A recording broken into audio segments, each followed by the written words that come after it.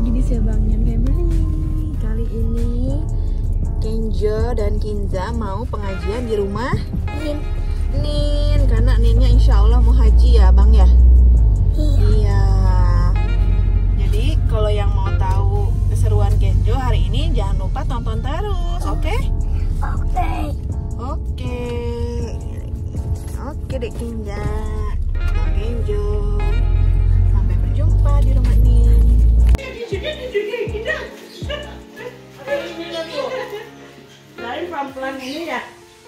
Ya. Iya emang lagi pilek. Ya. Yang wajib. Bismillah Ki. Nanti bikin vlog juga ya begini ya. Di haji ntar ada kenang-kenangannya. Udah. Eh, kok nggak mau sekarang? Ayo dong. Udah gede kali ya? Hah? Mau nggak? Mau mau digendong? Mau nggak digendong? Ke Sini. Blah. Tuh lihat lempar, lempar bola.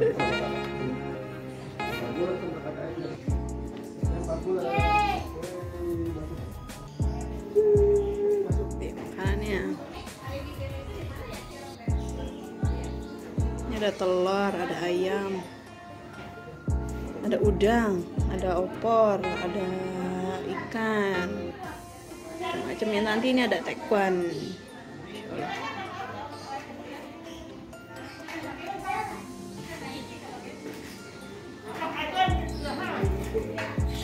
Panitia eh.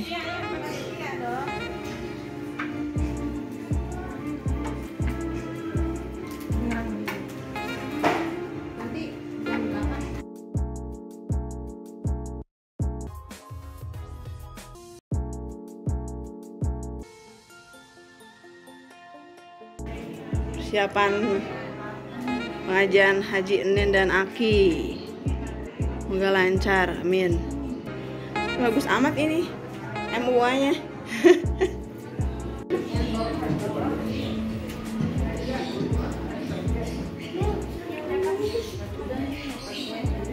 gimana nih panitia nih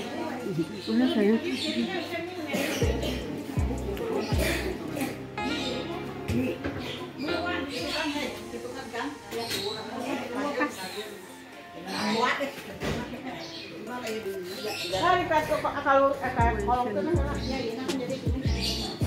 Ya. Nah, nih orang ini dah.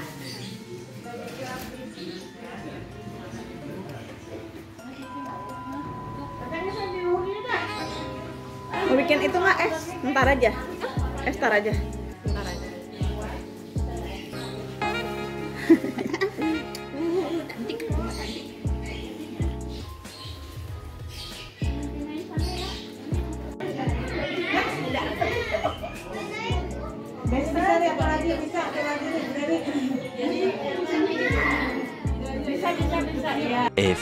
moments later. kita kerjakan. Tentulah kita awali dengan membaca sama-sama. Baiklah, selanjutnya adalah pembacaan kalam-ilahi. Allah berfirman, dan bila dibacakan Al-Quran, dengarkanlah baik-baik dan perhatikanlah dengan tenang. Semoga kamu mendapat rahmat. Untuk itu, marilah kita dengarkan kumandang ayat ayat 158 dan Quran surat Al-Imran ayat 96 97 yang akan dibacakan oleh Ibu Hajah Leli Malik dirangkai dengan sari tilawah oleh Ibu Hajah Hatini. Kepada nama-nama yang disebutkan tadi kami persilahkan. Assalamualaikum warahmatullahi wabarakatuh.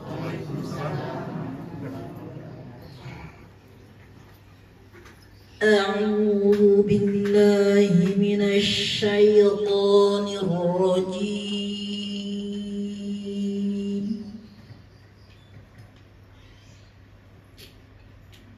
بسم من شعائر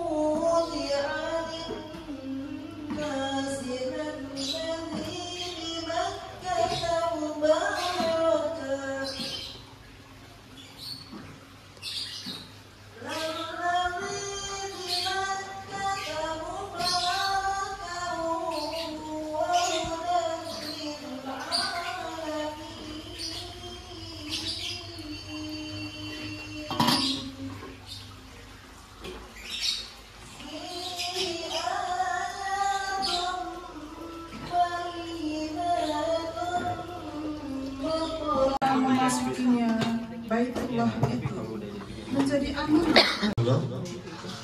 Terima kasih atas kehadirannya pada tasyakuran Walimatul Safar kami. Eh, Saya nama Dedi Musadat bin Haji Muksin Ridwan dan istri Ibu Nani binti Haji Amin Anas Anan. Kami alhamdulillah tahun ini bisa melaksanakan ibadah haji eh, di mana nanti akan saya jelaskan eh, schedule-nya. Yang pertama akan saya mungkin prosesnya dulu ya Bu ya. Prosesnya dulu jadi kami daftar haji itu tahun 2012 tepatnya 18 Agustus 2012 itu rencananya harusnya berangkat tahun 2023 hanya karena ada covid delay jadi dua tahun ke 2025 nah kemudian tahun ini kenapa berangkat? Karena kita mencoba mendatangi Departemen Agama. Nah kemudian di sana kita disodori eh, surat pernyataan. Jadi surat pernyataannya adalah bisa melunasi tapi tidak menjamin berangkat gitu. Kami tanda tangani tetap. Nah dari situ eh, kerannya dibuka pak bu. Kerannya dibuka akhirnya kita bisa melaksanakan proses istiqoah ya jadi sekarang ini eh, tahun ini sangat ketat sekali masalah kesehatan. Jadi kalau kesehatannya belum rilis belum apa belum bagus itu belum bisa melunasi. Jadi keran di depan apa di dinas kesehatannya belum dibuka juga itu. Nah setelah dibuka dari departemen agama kami melaksanakan MCU ya. Alhamdulillah walaupun ada hambatan istri eh, gula darah nah, gula darah pun sama dimasalahkan bu ya. Agak tinggi setelah proses pengobatan kemudian dicek lagi eh, lulus baru sertifikat itu dikeluarkan oleh dinas kesehatan. Nah dari situ baru kita bisa melunasi, melunasi. Itu. Jadi eh, apa? Pelunasannya itu ketat sekali, ya ketat sekali. Jadi harus kesehatan dulu. Ya mungkin karena tahun kemarin kan banyak yang baru datang dari sana ya, baru tiba di Arab udah pada sakit. Seperti itu mungkin ya. Ketat sekali. Itu jadi prosesnya sekarang ada ketat yang agak menarik ya, di, di sana juga ada sebelum MCU kita psikotes dulu ya. Mungkin ibu belum bisa masih ingat kali ya. Ada psikotes di sana mungkin masalah Alzheimer ya. Masalah psikotes. Nggak ada. Di sana ada eh, kami ditanyain ditanyain masalah eh, siapa presiden presiden Indonesia sekarang. Nah, karena katanya ada yang mengatakan ada yang mengatakan setiap ditanya itu selalu mengatakan Soekarno. Ya, nggak ada yang nyebutin Anies Baswedan nggak ada. Kita ada dong Pak ya. Ya. Termasuk waktu juga ada, waktu dia ditanya, waktu mundur juga sama. Jadi di situ ya, eh, mungkin masalah Alzheimer itu ya, masalah masalah apa? Kunan. Ya, kunan gitu. Jadi di di dinas kesehatan itu yang ditanyakan. Nah kemudian eh, masalah waktu ya, kenapa saya niatnya itu berhaji itu setelah setelah purna tugas bu? Karena saya menganggap gelar haji itu apa ya lebih berat dibanding perdana gitu bu. Saya merasa yang hijrah Hijrah dari mulai ya kalau apa kalau lingkungan tenaga kerja itu kan langsung dilihat dari mulai ada maaf ya.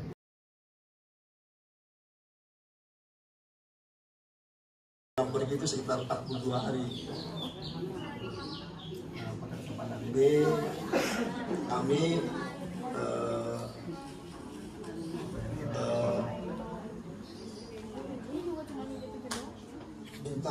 lahir dan batin barangkali eh, saya atau istri di lingkungan rumah atau di masjid hal yang kurang berkenan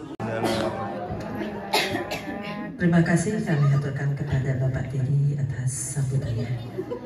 Hadirin yang berbahagia.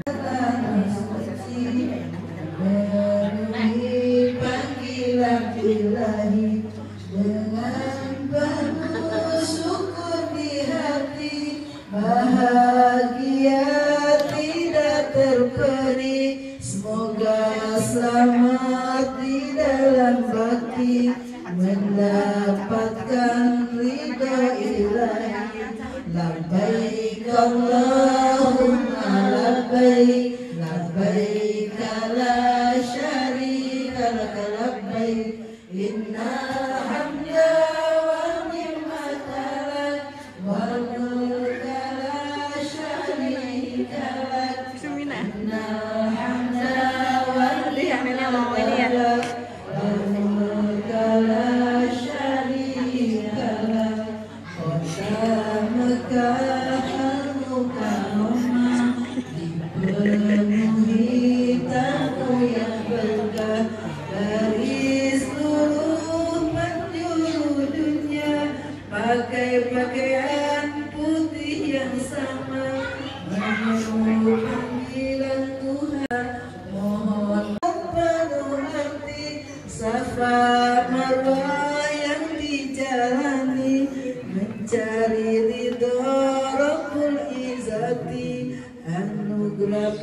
pahala di hari nanti labbaik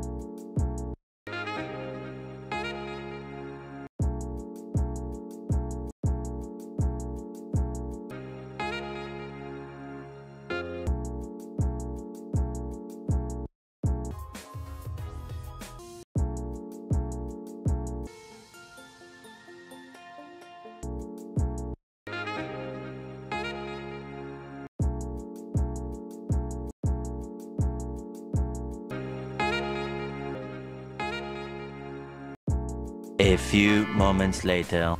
Coming dadah, coming. Oke geng, segitu aja vlog kita hari ini bersama Kenya dan Kinja. Jangan lupa di subscribe, di share dan komen ya untuk next vlog apalagi nih kita. Dadah.